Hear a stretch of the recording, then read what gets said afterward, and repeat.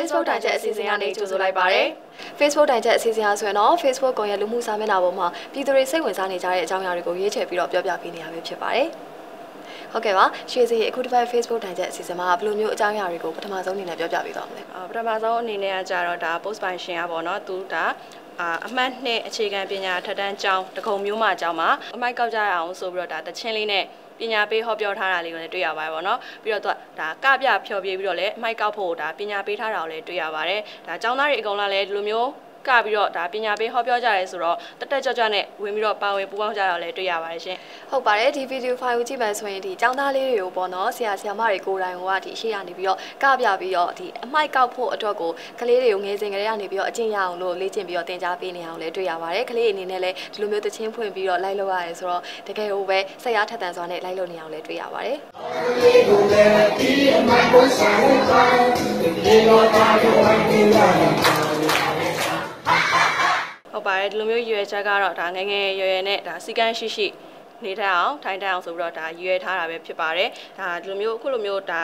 သွားကပြီးတော့ဒါဟောပြောပေးတဲ့အတွက်အောက်က comment တွေမှာဆိုလို့ရှိရင်လည်းဒါချီကျူးထားအောင်လည်းတွေ့ရပါတယ်ဒီလိုမျိုးဒီလိုမျိုးဟောပြောပေးတယ်ဆိုတာဒါကလေးတွေအတွက်တော့ တကယ်ကိုတင်ယူစရာကောင်းပါတယ်စီကန်းရှိဖို့ပေါ့နော်ဟုတ်ပါတယ်အောက်ကကွန်မန့်တွေကလည်းအကုန်လုံးကဝိုင်းပြီးတော့ပေါ့နော်အဲဒီဆရာတွေကိုလည်းနောက်ကြပါတယ်အကုန်လုံးပြန်တင်ပေးပါပေါ့နော်ဒီလိုမျိုးကလေးလိုပဲတင်တက်ချင်ပါတယ်ဆိုပြီးတော့စနောက်ထားအောင်လည်းတွေ့ရပါတယ်ဟုတ်ကဲ့ပါဒီဗီဒီယိုဖိုင်လေးကိုကြည့်ရှုနိုင်ဖို့အတွက်အခုလိုပဲတင်ဆက်ပေးလိုက်ပါတယ်လေးကိုဝဲဒီလမ်းလေးဆိုင်ပါသူ့ပတ်တာလည်း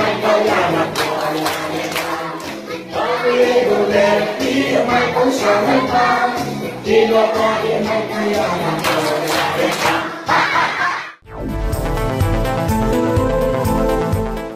ကဲဝေးနောက်တစ်ပုတ်အနေနဲ့ရောဘယ်လိုအကြောင်းအရာမျိုးရွေးချယ်ထားလဲရှင်ဟုတ်ကဲ့ပါဆက်လက်ပြီးတော့ပြောပြပေးသွားမယ့်အကြောင်းအရာကတော့ဒီပရာဟိတအမြဲတမ်းပြုလုပ်နေကြဖြစ်တဲ့အမှုပညာမောင်နှမနှစ်ဦးပေါ့နော် Hope Charity မြန်မာ Foundation လူမှုကူညီရေးပရာဟိတအသင်း9နှစ်ပြည့်အထိမ်းအမှတ်မိဘမဲ့ကလေးငယ်များနဲ့တက်ကြီးရွယ်အိုများပြုစုစောင့်ရှောက်ရေးပရာဟိတရန်မုံငွေပဲမှာ Academy ဝေလူကျော်နဲ့ရုပ်ရှင်သရုပ်ဆောင်ခိုင်နှင်းဝေတို့ကို Hope Charity Icon Award ကိုချီးမြှင့်လိုက်တာပဲဖြစ်ပါတယ်သူတို့နှစ်ဦးနဲ့အတူတူရုပ်ရှင်သရုပ်ဆောင်မိုခန်း MRCS ကိုလည်း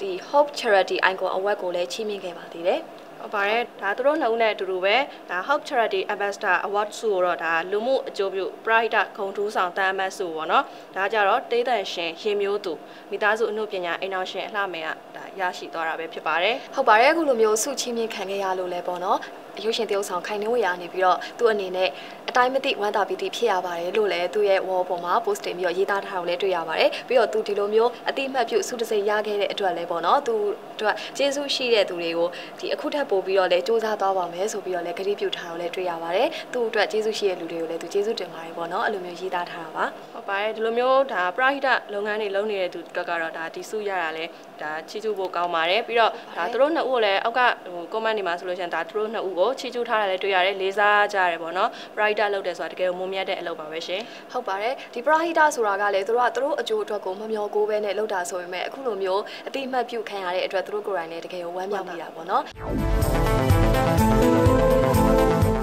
ဟုတ်ကဲ့ပါရွှေစင်ဆက်လက်ပြီးတော့ရွေးချယ်ထားတဲ့အကြောင်းအရာကိုလည်းပြောပြပေးပါအောင်ဟုတ်ပါတယ်အာနောက်တစ်ပေါ်ကကြတော့ဒါမြမရိုးရာဘုတ်ကထိန်တချင်းနဲ့ပေါ့နော်တကူတော့ကားပြဖြောပြခဲ့တဲ့ဒါနတ်တလင်းအထက်တန်းပြဆရာမကြီး ဟိုအကြောင်းကိုတင်ဆက်ပေးကြပါတယ်ဒီမှာဆိုလို့ရှိရင်ဒါဗီဒီယိုဖိုင်လေးမှာပေါ့နော်ဒါအကြောင်းကတစ်ကြောင်းလုံးဒါဘုတ်ကထိန်လှည့်တာပေါ့နော်အဲ့မှာဆရာမကြီးကိုယ်တိုင်ပဲတချင်းဆိုရဲကပြီးတော့ပေါ့နော်ဒါလှည့်လဲပြီးတော့ဒါဘုတ်ကထိန်ပွဲကျင်းပတာပေါ့နော်အဲ့ဗီဒီယိုဖိုင်လေးပါရှင် ဟုတ်ကဲ့ပါဒီဗီဒီယိုကဘာဖြစ်လို့ဒီလောက်ထိလူတွေကြားထဲမှာပြန့်နှံ့သွားရလဲဆိုတော့ကျောင်းဆရာမကြီးကိုယ်တိုင်ကဟိုသူကတက်တက်ကြွကြွနဲ့เนาะအကုန်လုံးမိုက်ကင်ပြီးတော့တချင်းလဲဆိုရဲကလည်းကပြရဲအခုဒီလိုမျိုးကျောင်းဆရာမကြီးကိုယ်တိုင်ကဒီဘာသာသာသနာကိစ္စမှာကထိန်တဲ့ကိစ္စမှာရှေ့ရနေပြီးတော့ဥဆောင်ပြီးတက်တက်ကြွကြွလှုပ်ရှားနေတော့ကျောင်းသားကျောင်းသူတွေအကုန်လုံးကလည်းပျော်ရွှင်ကြတာပေါ့เนาะအဲ့တော့အကုန်လုံးကလည်းကျောင်းဆရာမကြီးကိုယ်တိုင်ဒီလိုမျိုးကပြဖြောပြစိတ်စိတ်ဝင်စားမှုရှိတယ်ဆိုတော့အကုန်လုံးကလည်းဝိုင်းပြီးတော့ချီးကျူးကြတာပါ ဟုတ်ပါတယ်ဒီမှာဆိုလို့ရှိရင်တော့ဒါမဟာဘုံကထိန်ကို အတီးအမှုတ်ဒါအကအလှများဖြစ်ပြီးတော့ဒါမျိုးရင်းထဲမှာလှည့်လည်တာပေါ့နော်ဒါဒီဆီယမိုင်းကိုယ်တိုင်ကလည်းသူရှေ့ကနေပြီးတော့ဒါမိုက်ကင်ပြီးတော့ကရဲအဲ့လိုဖြောပြတဲ့အတွက်အကုန်လုံးကလည်းဒါစိတ်ဝင်စားကြတယ်ပေါ့နော်ဆီယမိုင်းကိုယ်တိုင်ဒီလိုမျိုးကရဲဆိုတော့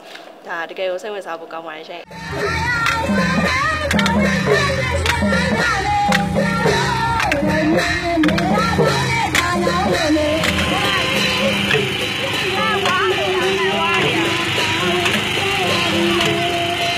ဟုတ်ပါတယ်ဒီကျောင်းအောင်ဆိုရင်တော့ပကူလာနေသားကြီးအထကလက်တလင်းရဲ့ပေါ့နော်အချိန်90မြောက်ဆရာဆရာမတွေကျောင်းသားကျောင်းသူတွေရဲ့စုပေါင်းမဟာပုံကထိန်အတီးအမှုတ်အကအလှတွေနဲ့မျိုးရင်းကိုလှည့်လည်ပေးတဲ့ပွဲဖြစ်တယ်လို့လည်းသိရပါတယ်ဒီအချိန်90မြောက်မှာဆိုရင်တော့ပေါ့နော်အခမ်းအနားဆုံးအနေနဲ့လူရန်ငွေ7သိန်းပေါင်း86သိန်း6ပေါင်းကိုလည်းလူရန်ခဲ့လို့လည်းသိရပါတယ်ဟုတ်ပါတယ်ဒါကတော့ဒါဝမ်းမြောက်ဆရာပေါ့နော်တာရုခေါ်ဆရာပါပဲရှင်ဒါပြီးတော့သူတို့လှူဒန်းခဲ့တဲ့ကျောင်းပါဆိုလို့ရှင်တော့ဒါသာသနာပါလာဘုန်းတော်ကြီးကျောင်းလက်တလင်းမြို့မှာပဲဖြစ်ပါတယ်ရှင်ဟုတ်ကဲ့ပါအခုလိုမျိုးဒီဗီဒီယိုဖိုင်ထဲမှာဆီယမာကြီးအနေနဲ့အတီးအမှုတ်အကအကုန်လုံးနဲ့သူသူကိုယ်တိုင်တက်တက်ကြကြပါဝင်ပြီးတော့ဖြောပြပေးထားတာကိုလည်းအဲဗီဒီယိုဖိုင်အခုလိုပဲတင်ဆက်ပေးလိုက်ပါတယ်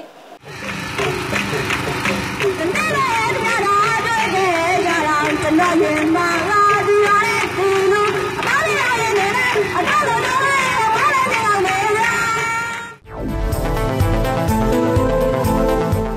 ပါရွှေစင်အခုတစ်ပတ် Facebook တိုင်ချက်အစီအစဉ်အတွက်ကိုရွေးချယ်ထားတဲ့အကြောင်းအရာတွေကိုလည်းပြောပြပေးပြီးသွားပြီဆိုတော့ဒီအစီအစဉ်ကိုဒီမှာနေမဲ့ခေတ္တရန်လာလိုက်ကြရအောင်နော်ဟုတ်ပါတယ်နောက်လာမယ့် Facebook ထိုင်ချက်စီစဉ်မှာလည်းဘလို့အကြောင်းအရာမျိုးတွေကိုရွေးချယ်တင်ဆက်ပေးအောင်လဲဆိုတာစောင့်မျှော်ကြည့်ရှုကြဖို့ဖိတ်ခေါ်လိုက်ပါတယ်ဟုတ်ကဲ့ပါ Facebook တိုင်ချက်အစီအစဉ်ကိုဆိုရင်တော့11 broadcasting ကနေပြီးတော့အပတ်စဉ်အင်္ဂါနေ့တိုင်းမှာထုတ်လွှင့်တင်ဆက်ပေးနေတာပဲဖြစ်ပါတယ်ကြည့်ရှုအားပေးခဲ့ကြတဲ့အတွက်လည်းကျေးဇူးထူးတင်ရှိပါတယ်ရှင်။